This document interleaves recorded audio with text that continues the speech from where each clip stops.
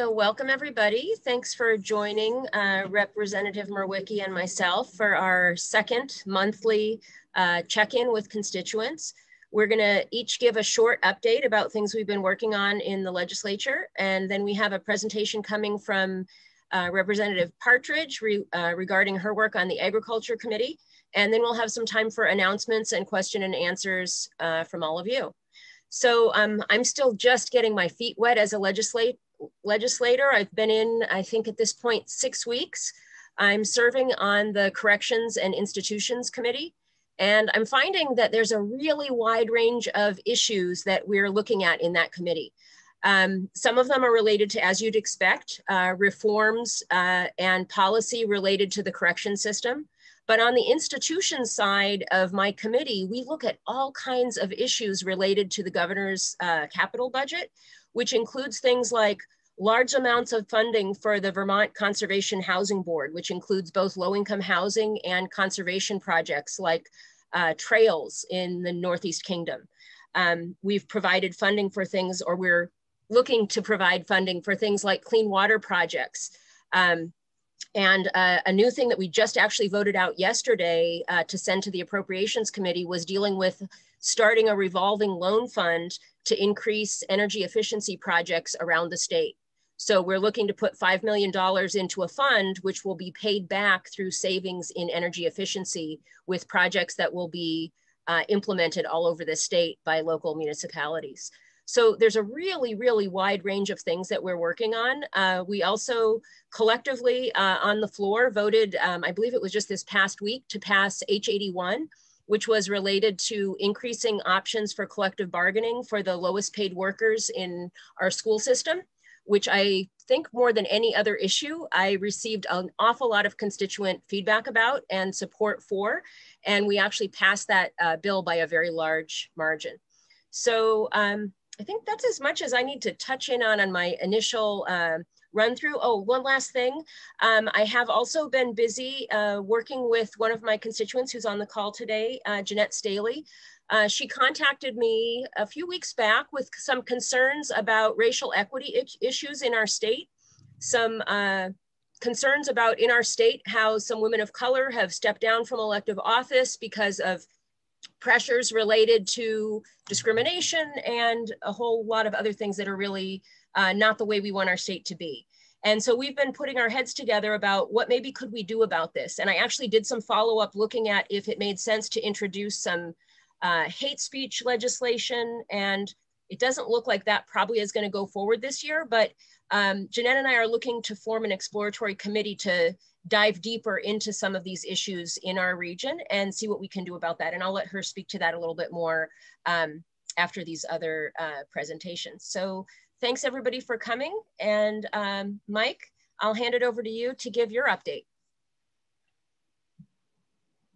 Well, thanks, Michelle, and thanks to everyone for, for coming on, on a Saturday morning. It is wonderful to see familiar faces.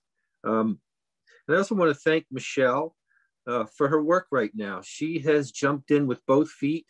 Uh, I think she's doing great work already.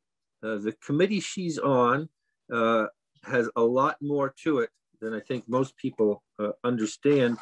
But along with that, there are 25 different committees in the House and Senate. And We have to be aware of what they're all doing. And that's why it makes it, uh, it's just essential that we all have to work together. And I really appreciate uh, the way Michelle has been working together with me and with the rest of the, the caucus. And, and uh, I think as we as we move on, uh, we're, we're creating a, a, good team for, for the people of the Windham 4 district. Uh, i want to recognize too, we, we do have a guest uh, that I'll introduce in a little bit, Representative Carolyn Partridge, but her district mate just north of us, Representative Leslie Goldman is here too. So I want to thank them and they add to the county delegation we have, and we, we have a really great group that works together. And I just want to note, I think uh, this is the shape of the future to come, I hope, in politics. And, and what I mean is we've been trying to press towards gender equality. And right now, our county delegation has 14 legislators and 11 of them are women. So we are we are moving in that direction. I see Eva clapping her hands there. so uh, I just want to share that um, good to see everybody, and I'm hoping there's somebody out there that I I would ask to make sure we're all muted because it sounds like somebody's typing away on a keyboard. So here we are, late February. This is the time of year when uh, I start to get a little antsy. Cabin fever sets in, get tired of those long, dark, cold nights. And COVID hasn't made it any easier. But then we start to see the days get a little longer, and that feels good. And I'm going to be starting some seeds for the garden this weekend, and that feels encouraging. And and pretty soon we'll see the sugar houses with steam rising up out of them. And these are all good signs of spring. So hope is coming. Now, at the start of this legislative session, uh, we heard from our state economist, and he made a presentation where he emphasized the, the connection between our physical health and the health of our economy. And that in countries that have successfully managed COVID, um, not only are the people healthier, but their economies are healthier, and they haven't had the kind of suffering we've seen in, in parts of this country. Now, Vermont has done a lot better than most states, uh, and that's that's a tribute to, to all of you. Vermonters have have followed the followed the science, followed the recommendations, and, and we're doing a lot better than other states. And I will uh, say right now that happily I registered to get my shot today. Now, it's not my time yet, but what they're recommending is before your time to get registered in the system. That'll make it, it go a lot easier when it's your time to to get your your vaccination. Um, now, this legislature has gotten right off to a flying start, and we're, we're actually trying to push things a little faster, especially around the budget. And the reason for that is our anticipation is that uh, in March, we'll get another round of stimulus funds from Washington. And then what happens is every committee in the legislature starts to look and see where the needs are. And then we discern, you know, how we can best use that stimulus money so it does, does the most good. Um, I also want to recognize at this time all the people in our communities that have helped make things, keep things going from teachers to medical staff to the people at our grocery stores. There's a lot of heroes out there, and I want to salute them. Now, at the start of the session, COVID was the big thing. It still is.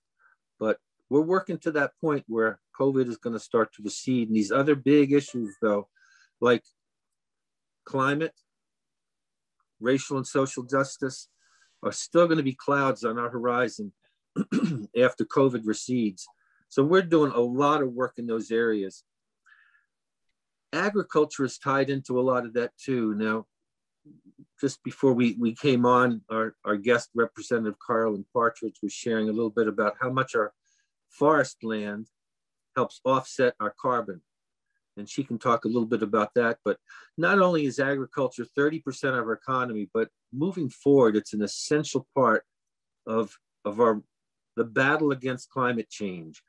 And so um, I want to thank Carolyn for taking some time on this Saturday morning. And right now, I'll pass it on to you to share a little bit as, of your work as chair of the of the House Agriculture Committee. Thanks, Carolyn. Well, thanks, Mike. Uh, and what a pleasure to be here and see so many familiar faces.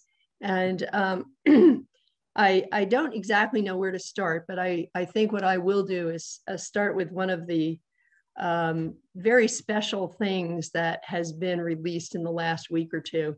And uh, it is the Vermont Agriculture and Food System Strategic Plan for 2021 to 2030. So this is available online if you go to the Vermont Sustainable Jobs Fund uh, website. I think it's vsjf.org and you can get the entire, it's over 200 pages. And the agriculture, uh, and I chair agriculture and forestry in the Senate, it's just agriculture. But a year or two ago, we tasked the Agency of Agriculture, Food and Markets uh, in conjunction with the Vermont Sustainable Jobs Fund to come up with uh, a plan, a strategic plan for the future. We know that dairy farming has really suffered some hits with low milk prices. It is uh, struggling greatly, but it is our anchor market. And what I mean by that is, you know, it brings in $3 million a day to the state. Uh, it's huge, but it also keeps many of the infrastructure folks afloat. So, uh, grain dealers, seed dealers, equipment dealers, they're here because of, of dairy essentially. And so those of us, I, I'm a small sheep farmer. Uh, when it used to be that if our baler went down and we were in the hayfield, I could drive over to Walpole, New Hampshire, to R.N. Johnson and get parts. And then uh, they went out of business. And then I had to drive to Keene, which is an hour away, uh, to Keats, and Keats closed. And now, if we have an, a piece of equipment go down, I have to drive either to Randolph or to Middlebury. Both of them are an hour and three quarters away. So that's a real challenge. And we've seen, I, I think when I started in the legislature, which was 23 years ago, there were probably over 2,000 dairy farms, and we are now down to 650 roughly. So that is of great concern.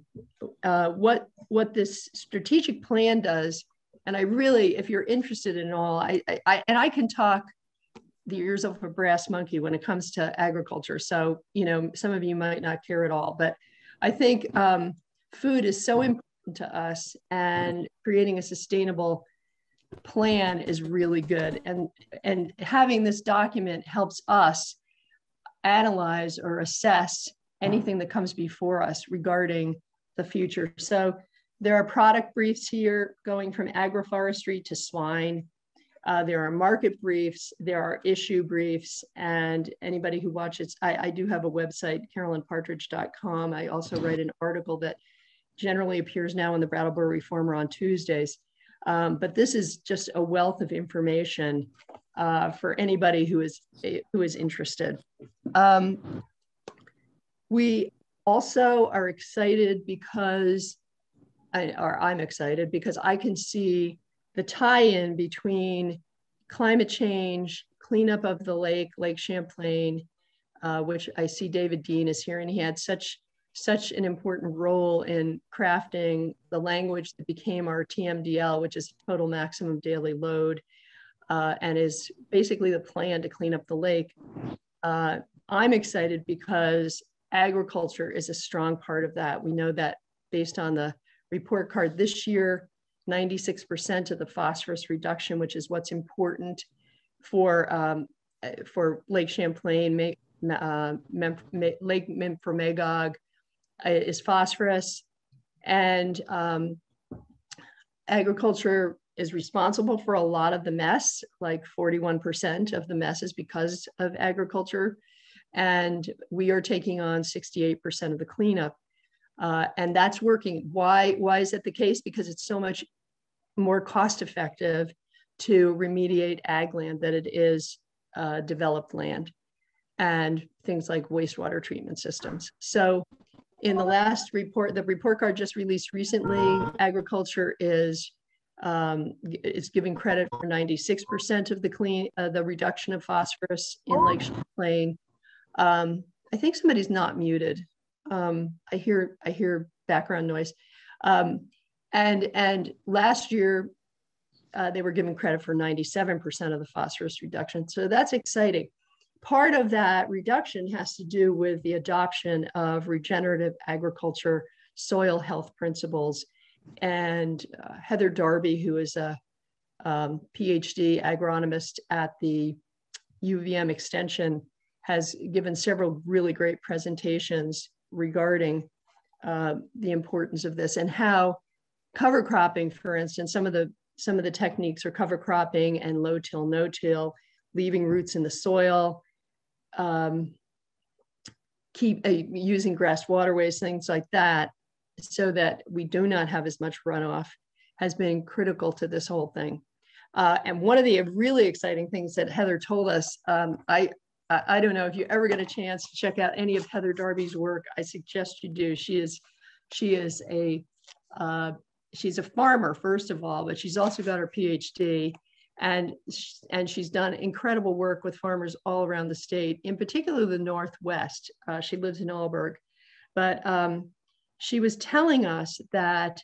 Uh, well, I'll give you a, I'll give you a little fact that we know that if if we can increase the organic matter in soil um, by 1% in the top six inches of topsoil, we can increase the amount of water, rainwater, uh, that is held by an acre by 27,000 gallons.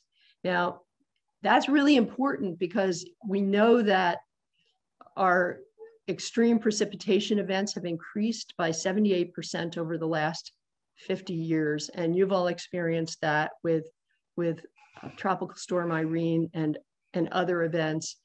And it will also, if you create a sponge, you create good soil health, you create a sponge that will then also slowly release moisture, which uh, helps with drought. So so it creates a real resiliency for our, our land if we can increase organic matter in our soil. So interestingly, at a meeting on January 20th, Heather visited with us and told us that the state average for organic matter in the soil is 5.6 and nationally it's 3.2%. So we are way ahead of the game in terms of organic matter in, so, in our soil. And it's estimated that if we could increase, improve that organic matter by 0.4%, bringing it up to six, in the top 30 centimeters, which is about 12 inches of, of soil, uh, we could sequester over 98,000 metric tons of CO2 per year. So these are, these are the things that really excite me um, because not only uh, is it good for our soil and potentially water quality, but it also helps feed us.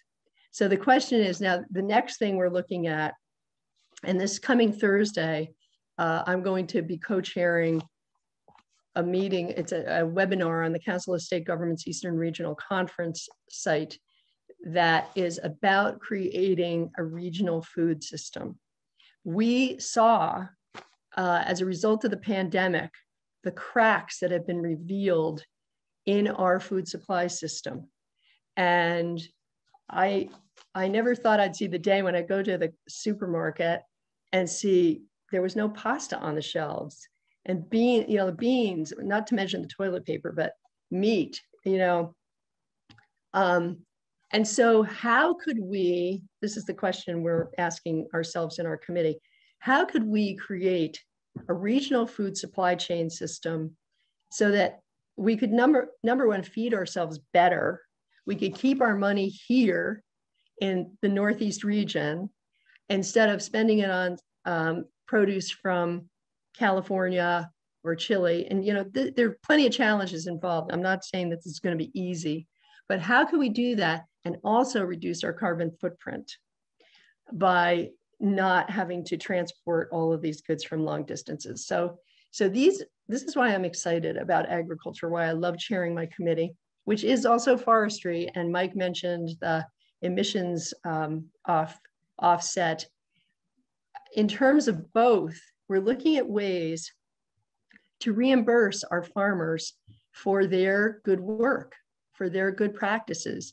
So we're looking at payment for ecosystem services, which applies to both agriculture and forestry.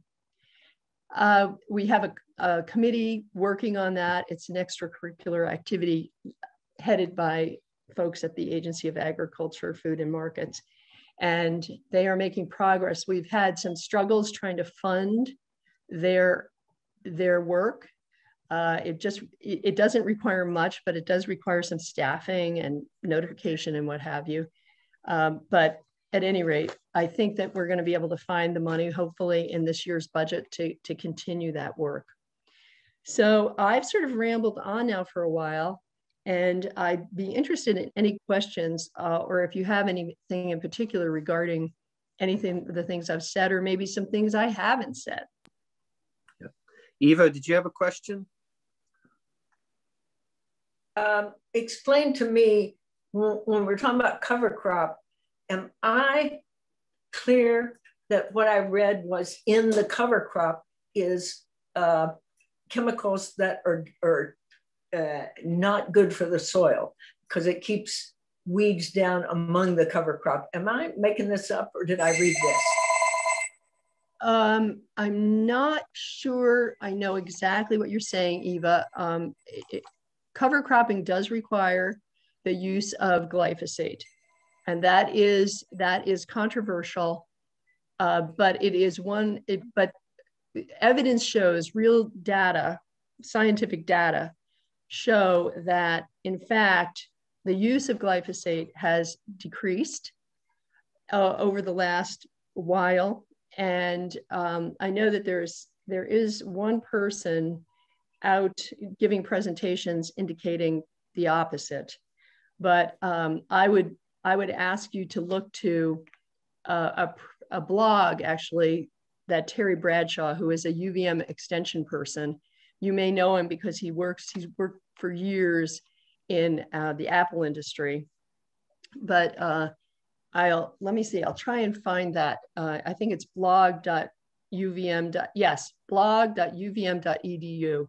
He really it kind of counters some of the um, the I would say poor science that is being okay. uh, spread and actually reported on by VPR. Okay, well, thank you, Carolyn. The other thing is I'm so grateful for the good work you've done forever. And I read your articles in the Reformer, and I appreciate that.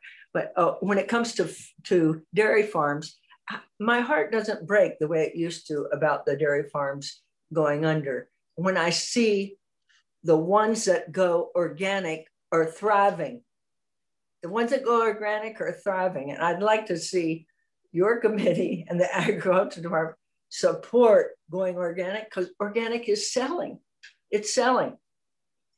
Yeah, and that is um, that is also I, I, I agree with you. It's good. There are uh, organic dairy farmers who have done very well. However, it's not the panacea for the situation. Um, there is money actually that helps farmers transition but my the vice chair of my committee, Rodney Graham from Williamstown, just recently, last May, actually sold his cows. He was a mil, uh, grass-fed organic dairy farmer, and because of the pandemic and other factors, he, um, you know, all of a sudden, the the organic milk producers or the co-op was reducing the amount of milk that they were buying. Uh, the great thing about I will I totally agree with you in that organic um, dairy is basically done on a supply management system, which is what Canada does. Excuse me, um, and and that's good uh, because farmers, conventional farmers in, in Canada are doing much better than our conventional farmers. However, it's not the, it's not the answer to everything. Rodney, unfortunately, uh, due to the abundance of organic milk, uh, they wouldn't pick up his milk. And that's what they do. They start finding reasons not to pick up your milk. And he ended up having to sell his, his cows. And it was, it was very sad. Um, Rodney is um, a, a, crusty kind of guy, but he was, it, it just killed him because his family, you know, the family, he's like probably third or fourth generation farmer on his farm. Now, the good, here's the good news. There's a, uh, and I want to get this out to the general public too. There is a, a Vermont Housing and Conservation Board has a farm and forest viability program which I, if any farmer is listening and needs help, I highly recommend that you you contact VHCB. You can Google them, it's easy. Um, but they have been helping farmers transition from dairy to other uh, other forms of agriculture, diversified agriculture. They offer business planning. They'll help you create a business plan. And I can't tell you the number of folks who have testified in my committee saying how helpful it was. They help people with the COVID money, apply for COVID money, um, which I did too. I actually got help from somebody at the Agency of Ag, but they helped numerous people apply for those grants. It was not totally easy. And for some of some of the older farmers, uh, it was a real challenge because it was all done online. So, um, so highly recommend anybody you know who needs help looking to the Farm and Forest Viability Program. Okay, um, but another, I'm, I'm going to interrupt one thing.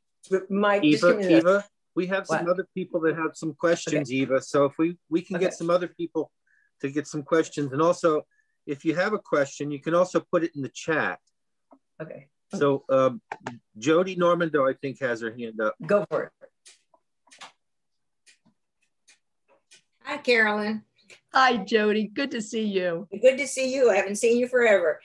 Um, what I'm having a couple of issues is with the forestry program. First of all, um, when you when you log, and invasives come in, and so um, like I'm I'm hesitant to even log because the invasives just take over when you log.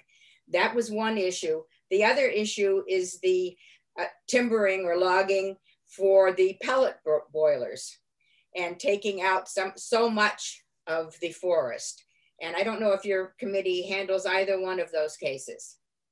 Well, Jody, I'm not aware of logging bringing invasives in. I think uh, many, you may be right, and I will talk to Mike Snyder, who's the Commissioner of Forests, Parks, and Parks and Recreation. Um, but many of the uh, invasives have just gotten here because they've gotten here. You know, they're we don't have big high gates up around the state or walls, thank goodness. Um, but they they come and um, and so I'm not really aware of that. Uh, do you have land in current use?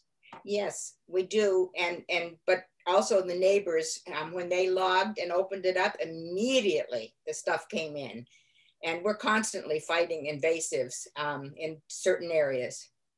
Oh, do you mean invasive, invasive plants or invasive pests? Plants. Oh, okay. Boy, I am not aware of that. I'll, I would, but I'll happy, I'm happy to take that to Commissioner Snyder and, um, and, and ask him that question. Let me just jot this down or I could potentially forget. And what was the second part of your question? The second part is pellet boilers are getting so popular, particularly for schools and things like that. Yep. And from what I've read, they take a whole, you know, they just kind of clear cut. And I'm worried about it's happening in Vermont. Well, in order to clear cut more than 40 acres, you have to have a special permit as I as far as I remember. And I'd ask David Dean or anybody who knows this to jump in. Um, it's actually um, one of those uses for low grade wood that um, is is potentially helping our folks combat the fact that five of the mills in Maine for low grade uh, wood have closed. And so, but but there is a very cool, the Vermont uh, Pellet Company, I think that's the actual name. Uh, Chris Brooks is the owner uh, they have a whole business model that where they don't want any of these plants closer than that 30 mile radius so that we don't deplete the forests in any one place. Um, I think that that is right now the, the only really successful pellet company at this point. But um, I'm also not aware that there's a depletion. In fact, I think that there's a real need for um, for markets for our low grade wood, but I will check with on that as well. Thank you. Thanks for the question. Tony Elliott, did you have a question? Well, you know, given time, all my questions get answered.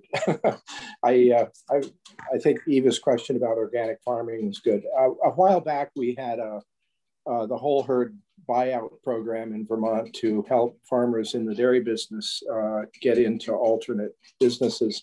I wonder, and, and I think Carolyn did speak of funds available to help farmers uh, change their uh, livestock and that sort of thing. I think that's an important thing, and I'll just leave that as a comment.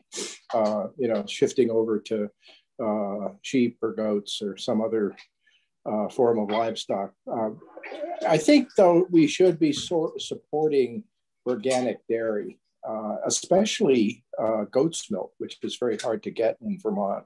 And um, so, comment there for, for the agriculture side. Thank you. Well, you know, it's interesting, uh, Tony. One of the things that came out of this um, strategic plan last year, last year the the the agency and uh, farm Vermont's Sustainable Jobs Fund and Farm to Plate are basically the same thing. Um, I, I, mean, Farm to Plate is part of uh, VSJF, but what they what they discovered is that based on the, the needs for our cheesemakers, our very successful uh, Vermont Creamery, uh, we need 4,000 more goats in the state to to to supply the need for to to create the cheese that's being produced. Right now, they're going to, uh, I think, potentially New York, Quebec, maybe New Hampshire to, to fulfill the need. So we do need that. Um, and I will say, years ago when I lived up on Hartley Hill in Westminster, I always say I lived in Saxton's River because that was my community. But um, I did milk goats and milk goats for years until my kids grew up and we just didn't use as much milk. But goat's milk is wonderful. And I attribute the fact that they do not have allergies. And I'm not making any claims here, FDA, but um, I, I attribute the fact that they do not have allergies. And I lost my pollen allergy when I started drinking goat's milk myself. So um, I think goat's milk is fabulous and highly supportive. We've we've had milk allergies in the family as well as other allergies, and I support that. It the milk allergies don't exist in goat's milk for us, and my other allergies have gone away. So yeah, maybe. yeah. well, yeah, from a I, practical standpoint too, I found it was a lot. It's a lot easier to milk a goat than a cow, and as they say, it hurts a lot less when you get stepped on by a goat than a cow. So true, so true, Mike. You know, another story, I've a family in Saxton's River who I was very good friends with, Sean and Joan Campbell. Uh, when their son was born, for some reason he found um, he couldn't even have, I think it was breast milk. And um, and I brought some goat's milk down to her. Don't tell anybody, okay? Um, it's years ago and he did survive, but it was unpasteurized and he did fine with it. So um, yeah, I think goat's milk is wonderful. No, thanks. Now, um, Ruby McAdoo, are you still there?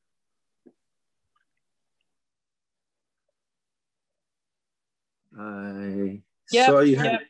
I'm here. Hey, Sorry. Ruby. Hi. So Ruby, it makes me a... think of summer. hey, Ruby, you have a question? I do. Um, and it's it's not related to this, although I think goat milk is amazing as well. Um, so my name's Ruby McAdoo. I'm from Putney. Um, I'm a parent uh, at, of two kids at PCS. I'm on the um, I'm the chair of the PCS Leadership Council, um, and our district is um, our towns are facing a vote that affects our district, as everybody I think knows about withdrawal from our um, merged WSESD. And I think there's a similar such vote in Westminster related to affecting the Westminster School as well. I I'm I I sent a little message to Mike because I saw a um, an article or a commentary in the Reformer today, um, printed by Mad, Maggie Cassidy, that referenced H180, which seems to be some kind of draft legislation that is in the education committee that's considering um, law that would be relevant to allowing um, forced mergers like ours to um, make a decision like we're we're we're making. But I guess I wanted to ask about it because I'm confused. I've heard I I don't feel like I'm the most well versed in what's going on up in Montpelier. But I have heard through a, a lot of information that I'm wondering if it's misinformation that there's nothing pending that's relevant to like that the legislature is not considering this. This isn't the time for um, us to be thinking about this. Don't worry about it. There's nothing on the table. That's what I kind of what I'd heard. And then this um, being in the paper made me think, wait, what is going on? so I figured I would ask you guys since, you know, you guys know better than I do. Mike, do you want me to answer this a little bit? Um, you could, and then it's the bill she's talking about is something I've co-sponsored, so I can follow up. But if you want to share your piece, since this is uh, certainly relevant to Windham, your town. Yes, and and um, as some of you know, Jody knows and Paul knows that I fought. I mean, yes, I did vote for Act 46 because they allowed for off ramps, which I think the Agency of Education essentially ignored. And I know this because I wrote the alternative governance structure proposal for Windham and felt like I was not taken very seriously when I went to hundred through hundreds of hours of work, two trips up to Montpelier, Barre actually, and and presentations. Um, but I would say that uh, Windham is one of the few schools that made it through this process. We were able to get the other towns to not force us to merge. And uh, I I feel strongly that if you're going to move forward on that, that you do it fast. I don't know that there's going to be language that will prevent what I call the divorces, but um, I I really I'm encouraging Grafton and Athens who are about to vote, and I think didn't Westminster already vote to divorce themselves? Yeah, I I, I strongly support that, and I encourage you to you know you know storm the barricades. I, you know, I, um, it's, it's really maddening. So that's my, that's my two cents, Mike. Before I get too sure. worked up here, go ahead. yeah. Um, well, I think your Ruby's question was, is this being pushed? And I would say no. Uh, right now, um, I think all of us have our hands full with COVID and with other things. And my what I'm hearing from the House Education Committee, and I don't have a, a window into the Senate right now, is um, right now they're they're focusing on COVID. How are the kids doing? Uh, what kind of learning loss are kids experiencing? What kind of emotional situations are rising up because of COVID? Uh, that's one of their main concerns right now.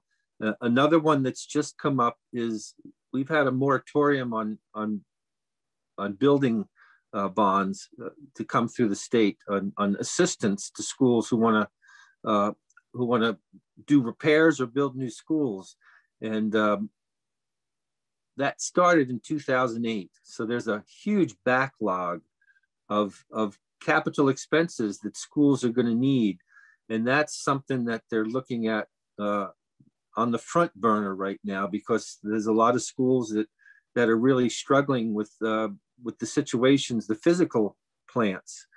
Um, so I'm not hearing, and, and as as one of the co-sponsors of, of H180, that is a bill that would allow, um, I don't see that going anywhere right now. I think it may be something that gets looked at um, in the future, but it, it's, it's, it's not something that's uh, being pressed right now. It's um, something that I I haven't heard an urgency to take up this or or to address the law that's allowing for these votes right now. So um, I think COVID COVID has really got got us as it should. The focus is, has been on that and, and how it's affecting kids. So uh, I hope that answers your question. It, it kind of does. I guess I, I I suppose I've heard what you've said before and I and I hear that it's not being pushed but I guess that's what was surprising for me when I saw um, that it had relatively recently just a, you know a little over a week ago maybe gone to the education committee as a draft. And I I, I honestly it flummoxes me the online system. I I mean I saw that there was a reference that this was now in committee the the one that the law that you or what you proposed but i didn't see a draft of it and so i it caused me a little concern because I was like, wait, I thought that this wasn't being considered, but there's something being considered. And I just, and I actually don't really, I trust, I trust you. I just feel like I'm hearing people arguing and uh, throwing things at each other that are very charged. And one of them is, now's not the time. We've got COVID. Like, this is not a big deal. Like, nobody up in, in Montpelier is paying attention to this. And then to see that it's there's something that is being proposed to the education committee is confusing to me. And I don't, well, and I, I just want clarity. Sure. I think what happens is uh, there's going to be about a thousand bills proposed over the course of the session and we're going to pass maybe 200 of them. Just because a bill is proposed doesn't mean it's going to get looked at or passed. And until you see it on a committee's agenda, that's the time when it's going to get looked at. So um, that's why I'm saying it's not on their agenda right now. I don't see it. Reality is that things can change and situations can change. And um, but right now, like I said, uh, my sense of this, and Michelle, you can weigh in and get your sense too, whether you're, but it, it's not being pushed right now. And, and um, anyway, Michelle, if you want to weigh in um, on I don't have a whole lot to add. I would just say that the situation in Westminster and the situation in the other part of the district feel pretty different. The kind of feedback that I've got from people in Westminster, it was overwhelmingly we want a divorce. Dummerston feels a lot more nuanced. And so I'm not sure what to say about the future because I haven't been on long enough to, you know, to, to know what's going to happen. But I can say we have way, way more bills than we can look at. And so it doesn't seem very likely that this is going to be one that's going to rise to the top in the next, you know, in the next few weeks before we, um, it'll, if anything, it would be next year that we, before we'd be looking at it is my, is my impression.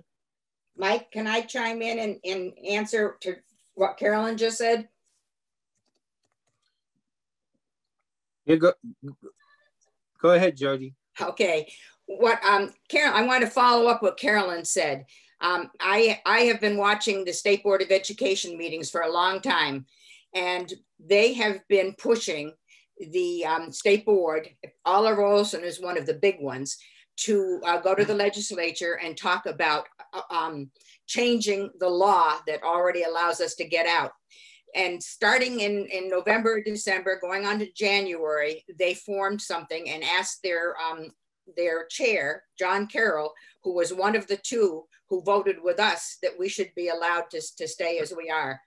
John Carroll and the um, agency uh, secretary of education have both gone to the legislators to both the education committee senate and representatives and presented that th they should be looking at this so i think we it may not come up this year but i think we have to be very aware that it is on everybody's mind up there that something has to be done. And i thank caroline for what she has said. She's been a great proponent of, of local school districts. Thank you. Mike, Mike, could I inter interject? Because I think there's confusion here. There's a there's a stand. Every bill that ever gets passed has to be read three times, and what happens is when you introduce a bill, it gets re read a first time and then committed to a committee, and and I think what uh, Ruby's talking about is just the introduction of that bill which maybe you could describe. I saw some chat that they'd like to know what 180 does, H180 sure. does. And um, and it's just it's just you know reading the first time, putting committee. That does not mean that it's going to be taken up or passed. It has to be read two more times to make that happen. So sure. thanks. Sure, H180 and uh, it is a is a, short bill. It's two pages, and basically it allows for uh, the schools to withdraw uh, from merged, forced mergers.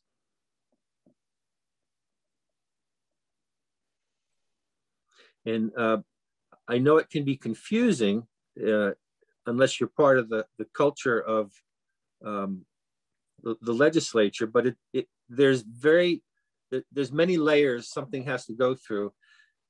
and it's difficult to get a bill passed. And, and many of us have lots of ideas, and that's why you'll see about a thousand proposals for bills, uh, but not that many of them will get passed. So I think, um,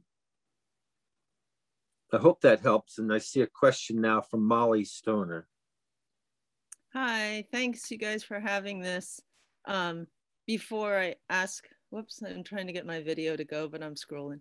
Um, before I ask my question, I just did want to make a comment about just process of this meeting because I had my hand up a while ago and some other people jumped in in that time. So just to kind of keep track of order would be really nice. So those of us who haven't spoken yet get a chance. Thanks. Um, I guess I, I mainly wanted to clarify, I put it in the chat and Mike, you already addressed it, but I, I'm curious because this issue is quite contentious in our in our local school district region. Um, I'm just curious about, and, and, and I'll own that I'm a fourth grade teacher, so I also teach about how bills come to the floor and things like that in, in the Vermont legislature. So I'm partially asking to make sure I can clarify for my nine-year-olds.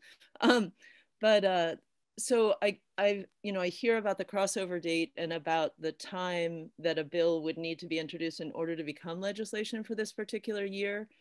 Um, and I just want clarity about that because I know that in a meeting on February 12th, a legislator told me that nothing was on the floor or being introduced even. It seems like that's happened in the intervening time.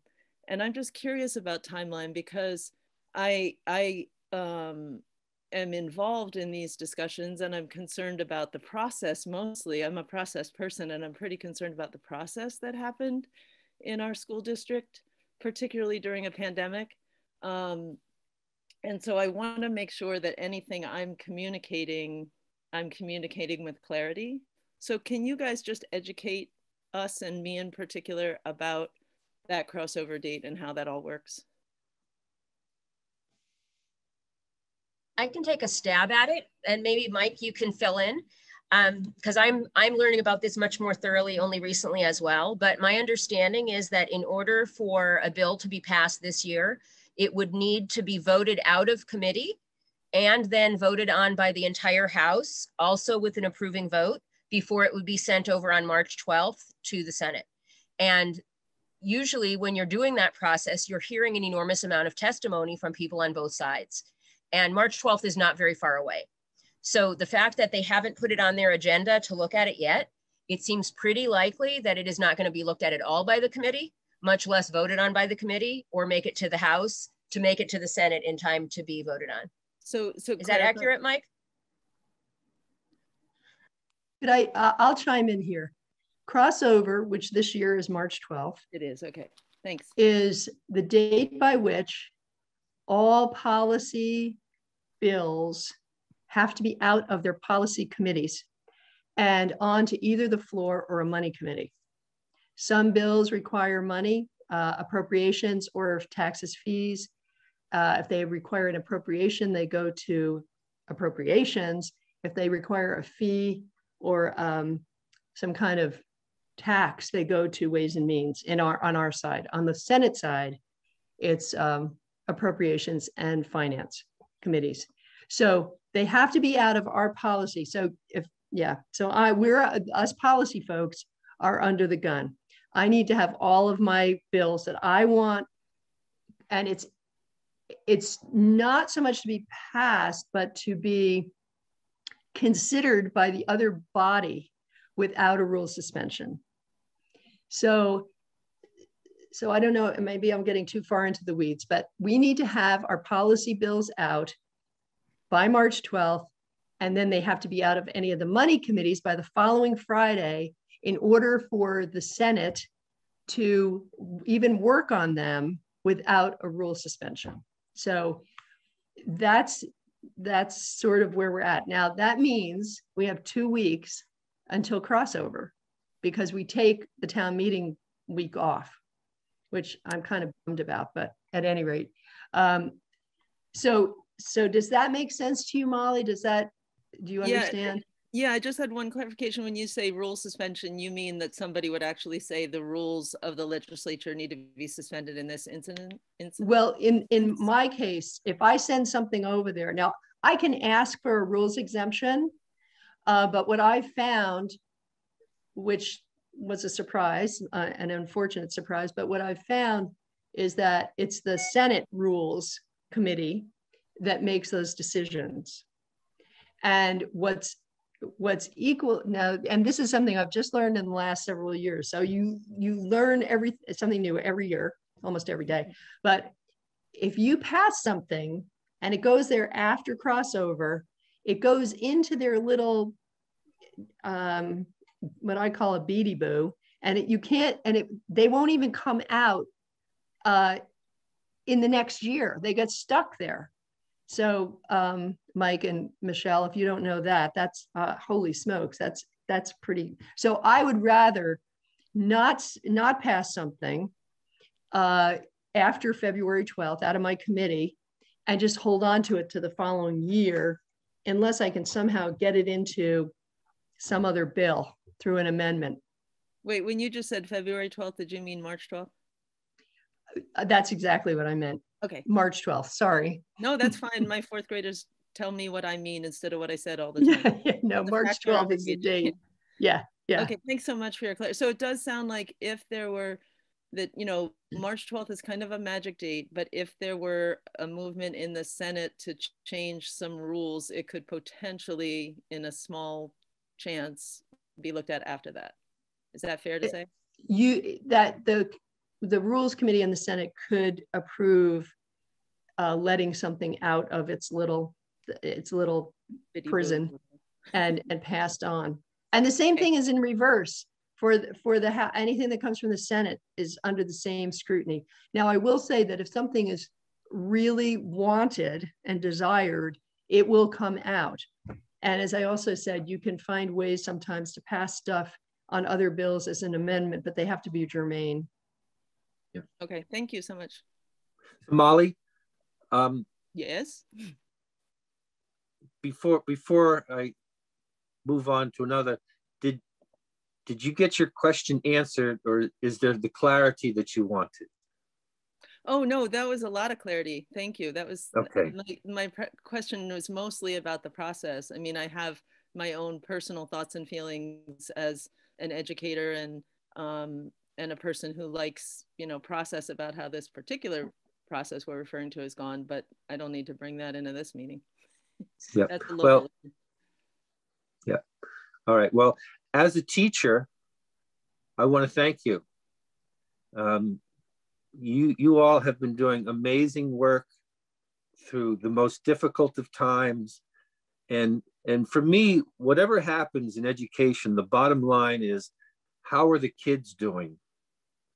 And and i'm just amazed at what our teachers have been doing. And i've been talking to teachers from you know our our district spans two different supervisory unions. So we've been talking to teachers from a lot of different towns.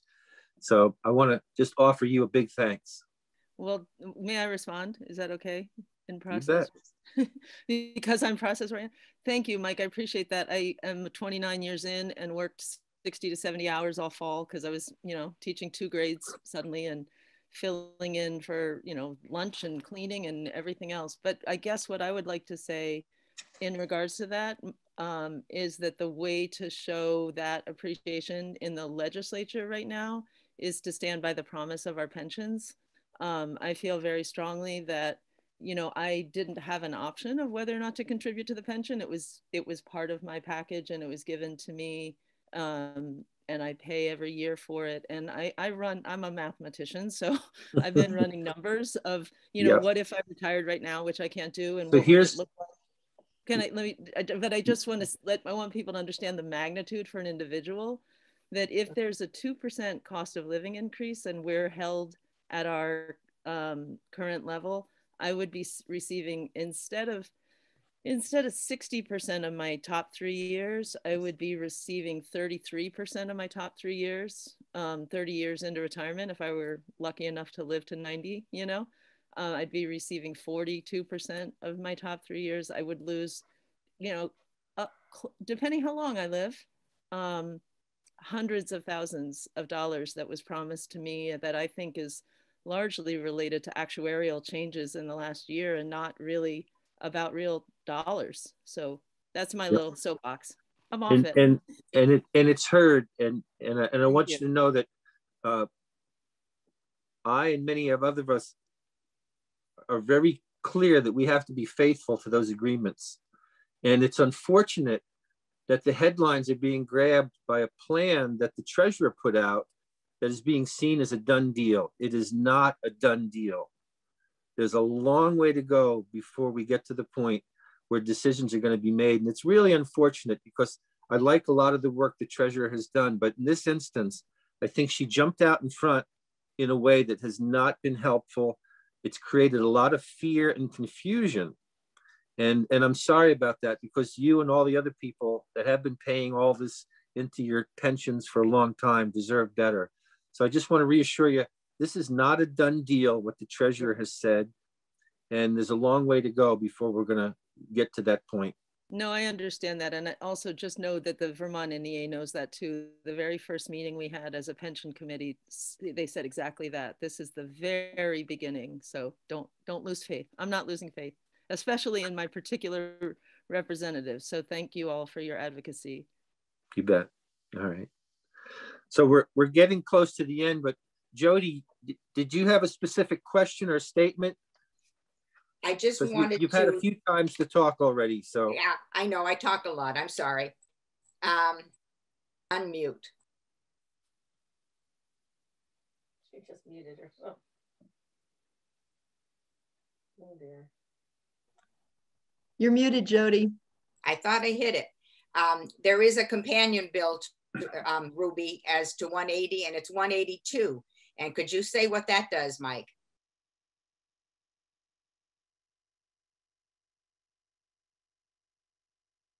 You're muted, Mike. Jody, I don't have it in front of me. Like I said, there's already 400 bills out there.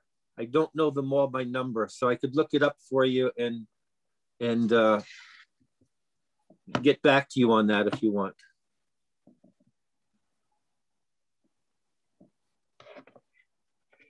Um, are there any other questions that we've missed before we Mike, can we just um, go to Jeanette Staley for a minute? She and I had spoken before the meeting and she had an announcement she wanted to make about a racial equity committee that we're hoping to form in the Greater Falls area. Jeanette, are you up for speaking for a couple minutes? Sure. Thanks. Well, I didn't have to, but thanks, Michelle. Um, I'm Jeanette Staley. I'm an artist. I'm in um, North Westminster. And um, Michelle sort of introduced why I am, came to her, but I think um, diversity and inclusion is really important. Um, there's an intersection between what I do in my art practice and um, and and diversity and inclusion. Um, you may have seen the vote out the patriarchy signs all over town the last couple of years. That was me working on my MFA project. Um, and so when this came up, I've been, you know, really concerned about it for years and called Michelle, hoping that we could um, come together as a community and find a way to address these issues um, of harassing and threatening people, uh, whether they're it's because of gender or LGBTQ or race um, in a way that doesn't involve police or legislation, but a kind of in communing. Um, and so on Monday evening at five o'clock, we're going to have a Zoom meeting to bring people together to start this conversation. Um, Putney has a group that we're going to have them come and talk to us about what they're doing. Um, our group doesn't have to be just like Putney's, it doesn't have to be as organized. Um, but I'm hoping that we can get get some more people involved. So if you know of anyone that might be involved, or if you yourself would like to be involved, you can um, contact Michelle would probably be the easiest. Um, also, I I own Flying Canvas Studio, which is my art business. So if you want to contact me through that, you can do that. Um, and if you know of anyone too, to please invite them. I think that's it. Does anybody have any questions? Yes. No, go ahead. I don't have a question, but I would encourage you to include people with disabilities. Issues of accessibility fall through over and over again. Yes. And it's not addressed in any of these committees. And it's so disappointing. I can't open most doors in Putney. They need a lever and they have a weight, should be only 15 pounds. If you take a fish scale and pull on it, see if you can pull it open. Uh, it's, it's totally and absolutely the SEVCA uh, over in Westminster, I cannot open the door. Lovely ramp, mm. I can't open the door. Um, yep. The exclusion of people with disability, you have to be in a wheelchair. No, we have upper disability. I've got two titanium elbows and plastic knuckles. We do not, uh, we let people with disabilities fall through the cracks over and over again. Mindful of your, com- your committee, please. Eva, thank you. Um, we have a, a racial and social equity caucus in the legislature. And one of the pieces, we have several people uh, who have, th there's another term that's being used. Um, and I, I can't remember it right now. I'll have to ask my, my wife. It's not just disabilities, but we have people who have disabilities who are making sure that when any of these conversations happen uh, about communities of people that are not being served, that the disabilities rights people are, are right there. Uh, you make a good point, Eva.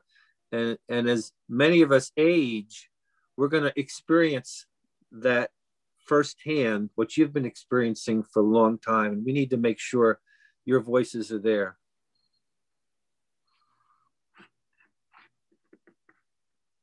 So we've uh, come to the to the end of our scheduled time, and, and I don't want to cut anybody off if they haven't had a question answered or if anybody hasn't had a chance to talk. So here's your chance.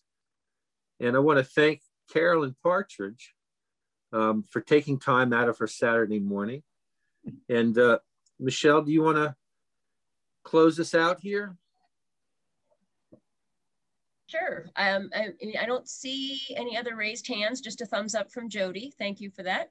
Um, yeah, it's nice to have everybody here. If you want to follow up, either in terms of the racial equity meeting for Wednesday or anything else, you know, be in touch. Um, you can find us online. State representatives all have the same formula for their emails. And I, I'm super happy to hear from people anytime. So is Mike. So is Carolyn, I'm sure and uh, please let us know what's of a concern to you. It's really helpful when it come time, comes time to vote to have a sense how the people that we're representing are feeling about issues. We have our own issues, but some of the issues, it really makes a difference to know how the majority of the people in our in our community are feeling in terms of shaping our, our own vision around some issues. So thanks for being in touch. Thanks for coming and we'll see ya. Thanks everybody for the opportunity.